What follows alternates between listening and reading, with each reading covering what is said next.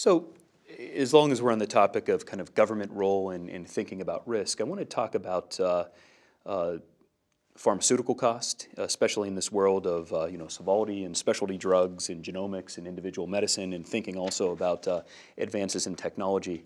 When you have to sort of project the future and don't necessarily know sort of what's coming down the pike or uh, what it will be priced at or exactly what the demand is. Um, some people would argue that there may be a, an additional role for, you know, say the FDA or others to kind of get involved uh, with drug pricing. Uh, any, any thoughts on that? Well, the um, a, a, a, couple, and, and, and I'll go back to principles around transference of risk and what makes sense for both the patient as well as as as, as the physicians. Um, when when in the early days of designing uh, bundle payment programs, uh, this issue came to the forefront because you're looking at historical past in order to project a budget and, and create the financial risk around uh, that defined episode. But then, so you, you take an episode like uh, hepatitis C, um, and uh, if, if the past were to be used as the budget for the future, um, every single physician managing a patient with hepatitis C uh, would go bankrupt or would deny the proven um, uh, treatment that actually cures the problem. So it, it, it's it, the, the policy that um, we developed early on was to say when you have a therapy that comes on the market that has a proven efficacy and we can discuss you know, what, the, what that means. Um, you, you give them a mulligan. So in other words, you, you ignore the effect of that particular therapy or that particular treatment on the pre-calculated budget. So it's kind of a safe harbor that says, look, um, we're going to let it play out because we don't want to restrict care uh, when there's a, proven effectiveness of a, of a given therapy. Um, and we know that the budget's wrong. because it could never account for that new treatment. Now, you know, we're talking here about treatments that have an inflation factor on a budget. There are also treatments that could have a deflate, uh, deflating factor on, and so you're going to have it wrong in in in, uh, in, in both directions. But I think it's okay, right? Because you want to, in fact, encourage uh, the development of treatments that are going to have a deflating um, uh, factor on the budget, and then you want to create a safe harbor, I think, around the ones that um, uh, are going to inflate it for the right reasons, not for the right. wrong reasons. You know, drug costs are going to be a challenge for every delivery system, for every physician, because ultimately it's the physician who writes that prescription, for the healthcare, uh, health plans, uh, for employers, and for anybody who pays taxes, because our tax dollars pay for a lot of this too. Um, there are so many medications that are out there now that are truly miracle drugs. They're diseases that a few years back were terminal. Take HIV, for example. When I was in training, everybody with HIV died. Now it's a chronic disease, and it's managed with medications. The same is true of a lot of leukemias and lymphomas and other oncologic problems. And then you look at multiple sclerosis and other uh, non oncologic problems. There are medications that have been developed to manage those people. So diseases that were previously terminal are now manageable. But the medications are very expensive and they're used for year after year after year. So, as a society, this is one of those things. What cost is society willing to pay for those things? Uh, and that's a challenge for the health plans, but it's a challenge for everybody.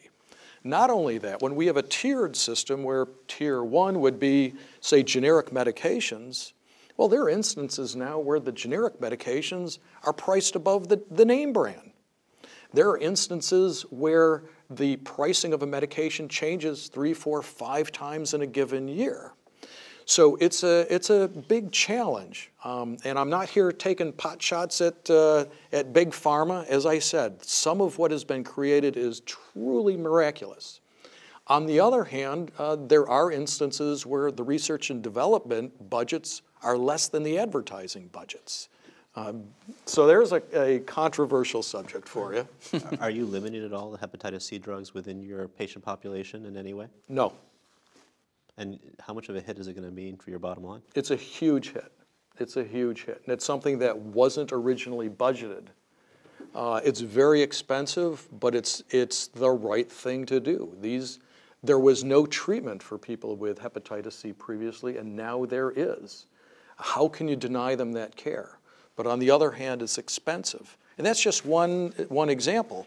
Don't forget, right now in phase two and phase three development of medications, there are somewhere between two and 300 medications that are going to be put out in the marketplace with average costs of about $50,000 a year or more.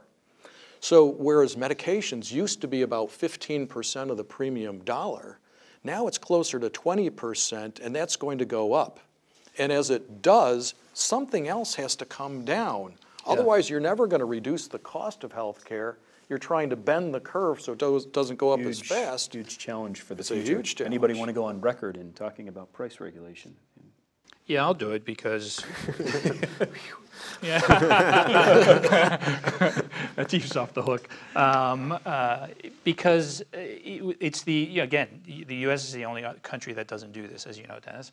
And um, when you are faced with uh, the introduction of, of uh, new treatments and therapies um, that in some instances only improve, they don't even improve, um, they extend life by a few months, uh, but at a price that is incredibly high.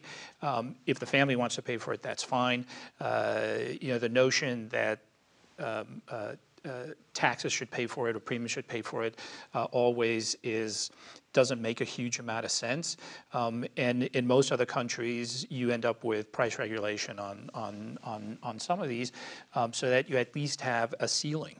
And um, uh, and without that, you know, the the it's not a question of putting a price on life. It's a question of uh, creating a price point, which becomes a ceiling, um, uh, and then under which all kinds of negotiations in the private sector can go on.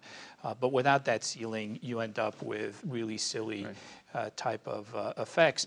And let's not forget the prior discussion around Medicare, Medicaid expansion. You know, Medicaid expansion. So you've got states turning a blind eye on people who can't afford health care.